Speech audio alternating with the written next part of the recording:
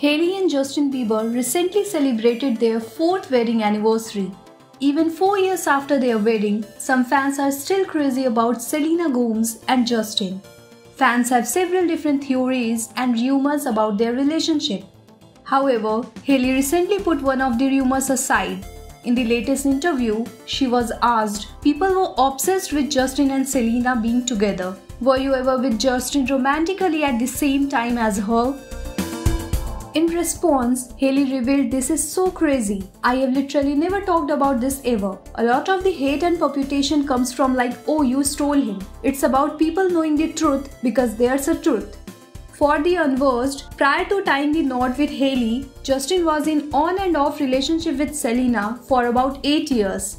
The stars rekindled their relationship in late 2017 before officially parting ways in early 2018.